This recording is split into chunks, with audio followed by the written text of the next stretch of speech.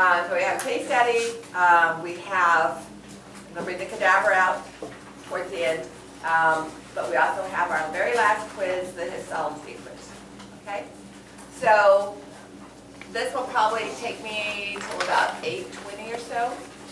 And then we'll have lab, we'll have the case study, and then we'll have lab time, uh, so whenever you wanna take the quiz. And then I'll bring the cadaver out and kind of take you through in groups. And then any left, left time, leftover time, you can use to study models or study lecture material for Thursday. Okay. All right, so here, we're looking at those three components, glucose, fatty acids, and amino acids. And we're gonna look at, when we talk about pancreas and uh, insulin glucagon, as you probably already know, glucose levels are modified by insulin and glucagon, as well as some of the other hormones, but those are the primary ones. And as we talked about on Friday, glucose can be stored in the liver as glycogen.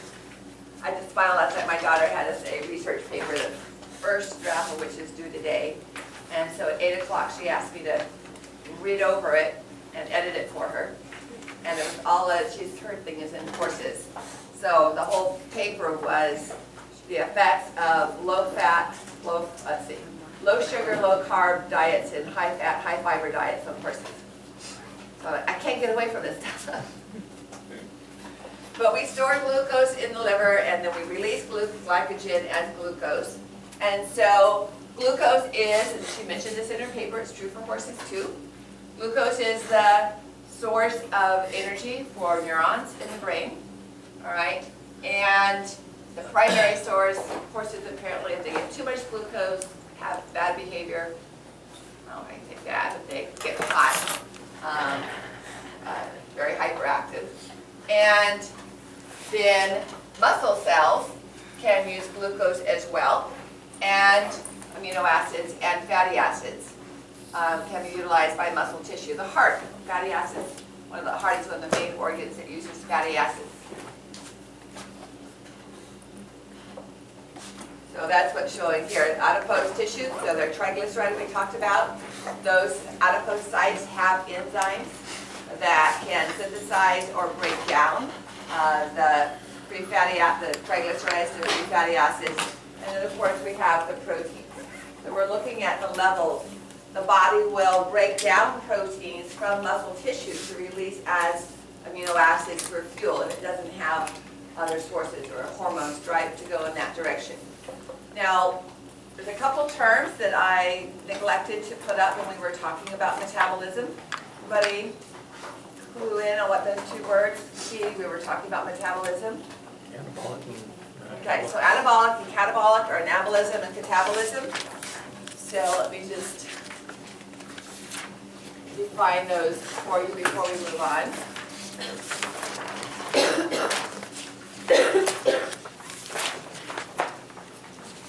So this at first was a bit tricky for me. I've always thought of anarchy as being without form and structure. Uh, and that doesn't work here because anabolism is putting things together, and A means to me means without. So I had to come about, up with a different way of uh, recognizing breaking down versus building, and so catabolism and catastrophe, how I put the, the terms together. So catabolism would be, uh, just as an example, catabolism would be glycolysis. All right, so taking glucose and breaking it down forming energy and so on. And anabolism would be um, glycogenesis.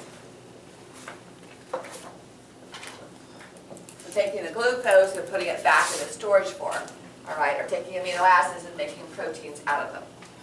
All right, so having laid down a little bit of a basis, let's talk about our first hormone. And again, once you, you're familiar with uh, these components. So we have the synthesizing organ is going to be the pancreas.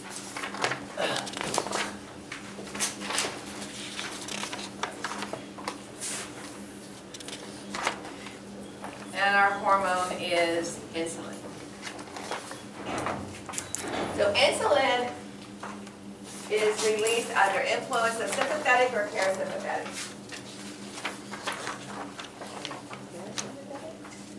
What'd you say? So think, when you're thinking about this, of just something that you memorize, remember parasympathetic is our rest and digest, slows cardiac activity down, but speeds up digestive, so it increases motility of the stomach. It causes the liver to increase synthesis of bile. And elevated blood glucose is a uh, absorptive state. That's what we do, that's what happens to our glucose levels as we eat. Glucose levels rise. So vagus nerve um, is active during that absorptive time, and so it is active on the pancreas um, in the release of insulin, as well as just elevated glucose levels themselves are going to increase um, insulin levels. Okay, so this fed state is the absorptive state, and so we, with that um, use of insulin, it affects the receptors that allow glucose to be transported into the cell. So this is for free, I'm not gonna put this diagram up on the, I already told you what your extra credit was.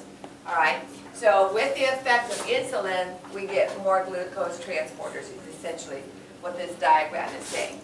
Okay, therefore more glycolysis can take place, or certain uh, cells do not need the glucose transport, and that's why exercise down here to this table. That's why exercise can affect glucose levels. Now, notice the slides are going by faster than my words. I told you I wasn't going to stay on all the slides. So this is what you need to know. So with insulin, we have a decrease in everything, right?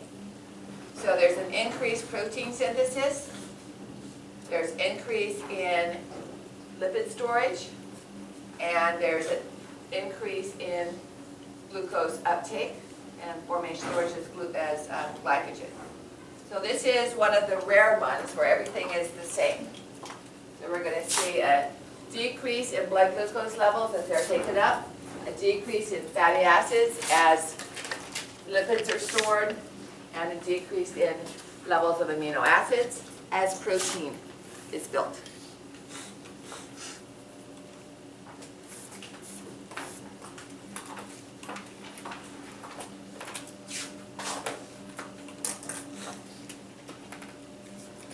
Okay, post-absorptive state. Remember I wrote those terms on the board Friday? So absorptive is like within the first two hours of eating. And then after that, if you don't eat again, you're in the post-absorptive state.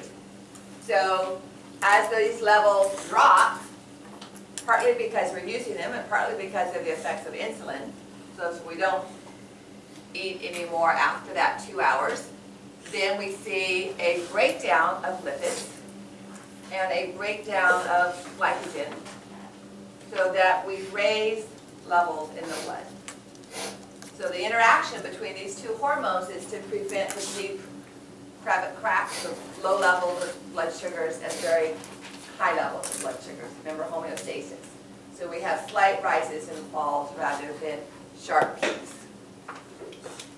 So our source is still the pancreas.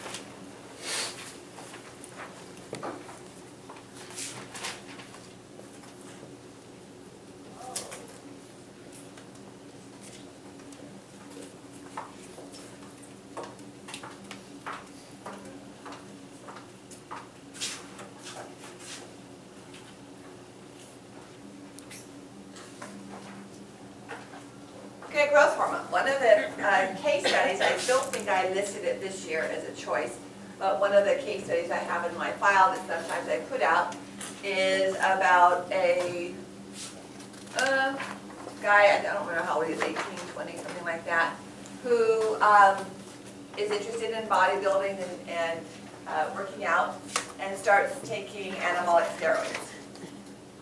And after a couple of years of this, he's buffed, but he finds out that he's now a diabetic. All right, so if we look at the effects of growth hormone, which has effects on lots of different organs in the body, it switches, it's great for weight loss, because it breaks down fat. So essentially what growth hormone does is it, as some other hormones do as well, it sets aside glucose as the primary fuel use and switches the body's fuel use, in the case of growth hormone, to fats. So what's going to happen to glucose levels if we don't use them for fuel? It's going to go up. All right, so growth hormone, um, pituitary gland. Then it's going to increase blood glucose levels because they're not being utilized by the cells. It's going to increase fatty acids because it's taking fat cells and activating the lipase in the fat cells to release uh, monoglycerides and fatty acids. And this is what's being used as fuel. So growth hormone is great because it helps you lose weight. And it decreases amino acids because it's stimulating anabolism of protein.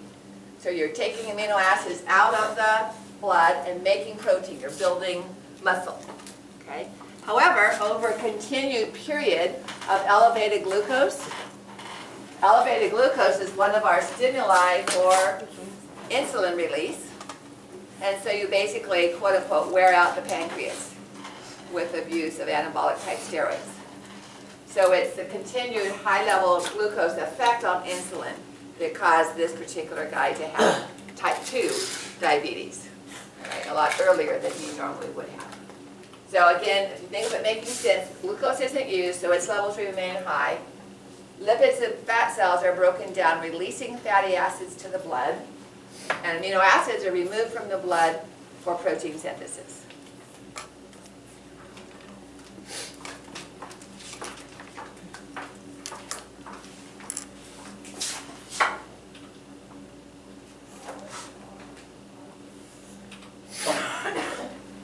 Okay, thyroid, we already talked about at the very beginning. Um, so, I'm not gonna go into all the side effects, we covered that already. So the, the end result of thyroid hormone levels is it increases the mitochondrial production of ATP. So it's its role in elevating, most of us know that if you're hyperthyroid, you feel hot, you have a lot of energy, you may even have diarrhea because your digestive tract is overactive, so on, okay? But the mechanism by which it does all of that is to increase the synthesis of ATP. So it's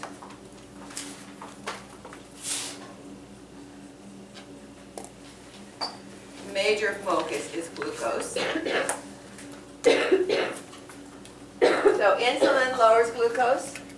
Thyroid hormone, by the way, is the only other hormone that also lowers glucose levels.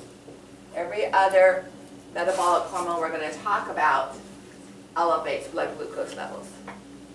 So insulin and thyroid hormone, it makes sense since we're using glucose to make ATP, are the only ones that lowers blood glucose.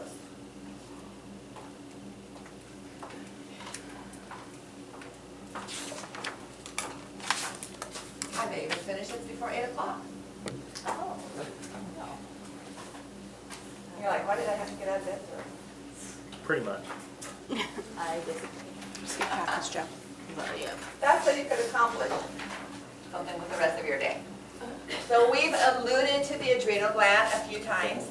By the way, pay attention to the source because it always surprises me every semester how many students miss the source organ for these hormones. Something I think is common knowledge. So pay attention to this. You don't want to miss that part of the table. The adrenal glands we have as a source for two different hormones. We have corticosteroids, cortisol, aldosterone, androgens that come from the cortex, when we're going to be using cortisol. But there's another hormone, quote unquote, neurohormone that comes from the medulla, Epinephrine. norepinephrine. Well, actually epinephrine from the, from the adrenal gland. Okay? So we're gonna, we look at the histology of this. The medulla is usually, you know, normally flip it, but the diagram this way has it. So remember the zona glomerulosa? Uh, the, our loops of smooth ER containing cells are near the capsule, that's aldosterone. Androgens are released close to the medulla. We haven't really paid attention to that, but uh, this, as well as the ovaries, are the source of androgens. In this middle area are the glucocorticoids, which uh, if you bought an anti-itch cream, if you've got poison ivy or a lot of bug bites, and you've got a cortisone cream, that's coming from cortisol, okay?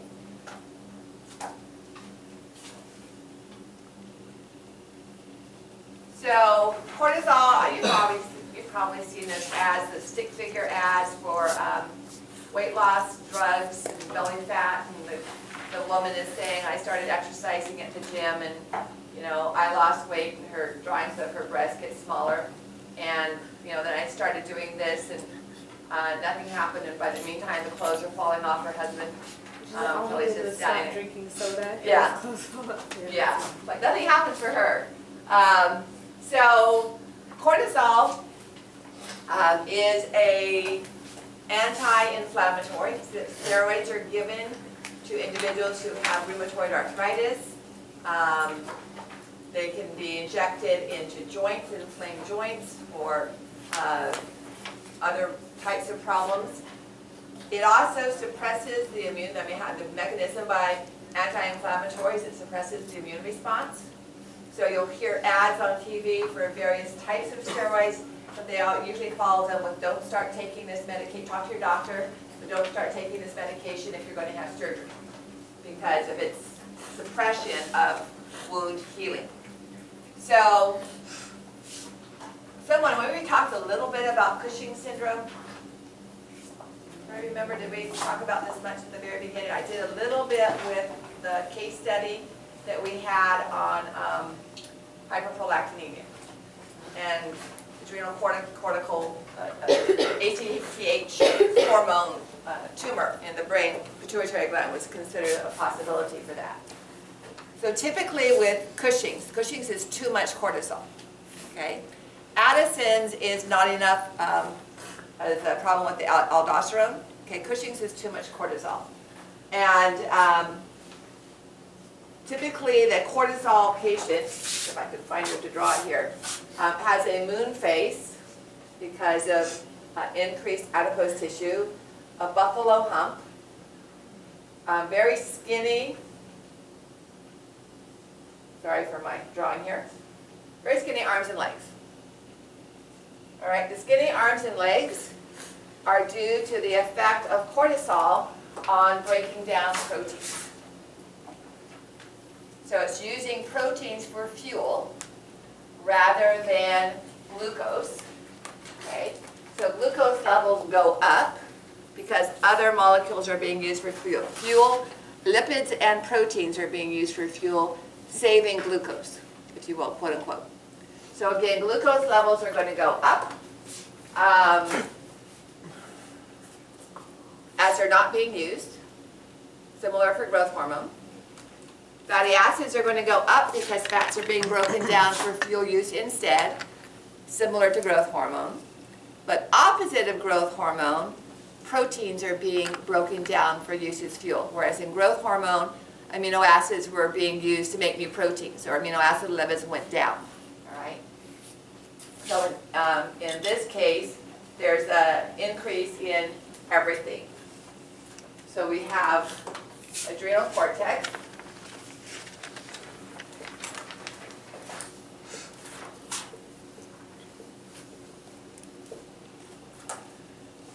So glucose goes up because the body's not using it.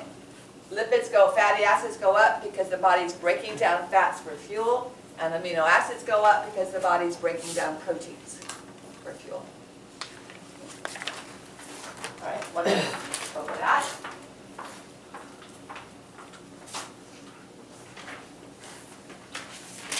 So here's the, unfortunately, this is the characteristic appearance of the moon face, the redness in the cheeks, um, hirsutism, so increased facial hair growth, uh, striae, So there's a abdominal fat as well as that buffalo fat and then distension, uh, sometimes purple instead of just the uh, whiter shades here.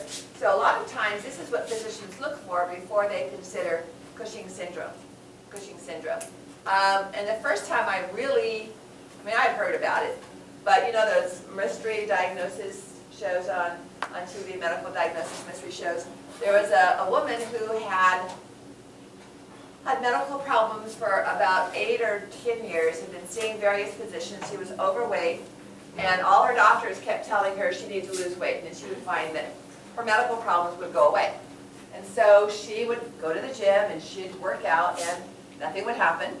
And none of the medical doctors believed that she was really working out because she wasn't losing weight.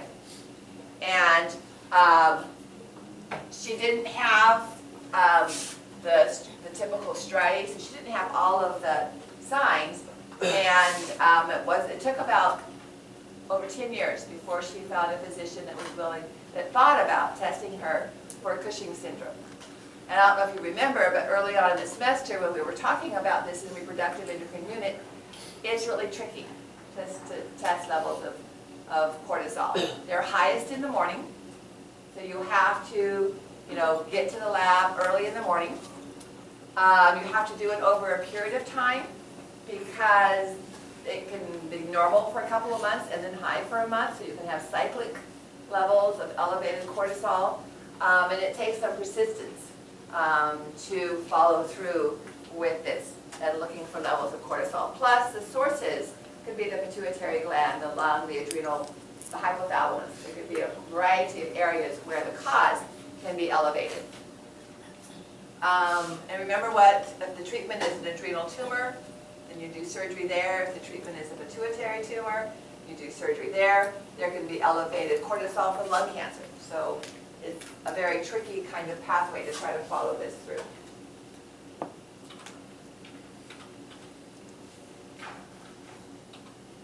And our last. Okay, epinephrine. This is from the adrenal medulla.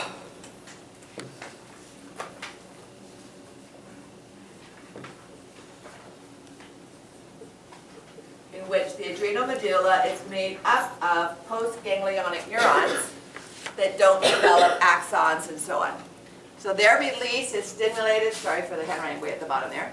The release of epinephrine is stimulated by sympathetic neurons that directly release acetylcholine onto these cells, because remember they're postganglionic sympathetic, so they have receptors for acetylcholine, but they don't send out axons, and so their neurotransmitter, if you will, epinephrine, is released into the blood. That's why it's classified as a hormone, although it's, um, it will bind to the same receptors as norepinephrine. So this is one of these that does this. Now, cortisol and epinephrine are, whose release are both uh, stimulated by exercise and stress. Um, I don't know if things change as you get older, but I remember when I was in high school, you know, the first high school crushes kind of thing, I could lose five pounds in a week just by falling in love. I mean, it just would melt off. And then as you get older, you have stress and you gain weight. So I don't know if that's, you know, a mechanism to make you more attractive when you fall in love or less attractive or I don't know. It just doesn't work the same way as you get older when you have stress. Um, so my daughter was under a lot of stress, her own doing, uh, a year ago, her homesteading courses that she kind of stuck her head in the mud and ignored and then got frantic the last six weeks and tried to pass five A classes and did succeed in but two of them. And didn't tell me about it until it was too late to do much about it, but watch her struggle to get a D instead of an F. And she lost a lot of weight. Now, if that had been me stressing out this you know, time, it wouldn't have worked the other way. I would have gained about 15 pounds. Um, but, again, it's switching, and this is where this is where you lose the weight when you're switching the source of fuel to lipids, all right? Um, by, and then by, not using glucose, glucose is elevated. So this is a little bit, when we don't use glucose, it goes up. When we do use fats, it goes up. So wait, a minute, because the fats are already stored, and they're being broken down and released into the bloodstream, okay? Whereas the glucose is not being taken up, therefore its levels stay high in the bloodstream. Okay, it's in 12 minutes early. Our last formal new piece of information. All right? So recognize what's happening with the um, molecules. It helps if you think about what's going on instead of just remembering up or down arrows. I know by putting it in a table form, I'm I'm kind of leading you down that pathway to do that memorization. But if you think of the purpose and what's happening, um, it will help you remember those. Okay? All righty, so, ten minutes, and case study. And then after the case study, when you guys, so we're done with the case study approximately eight, well, eight forty, give you, won't take you twenty minutes, but, uh, when do you think you want to take the quiz? Ten? No.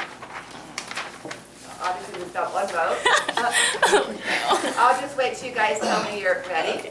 I'd like to bring the cadaver out about ten thirty. Okay? So those of you that aren't interested, aren't losing a lot of lab time if you want to leave.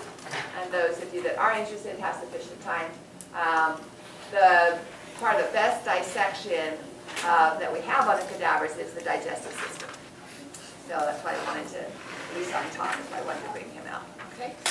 So whenever you want to set up, the rest of you want to take a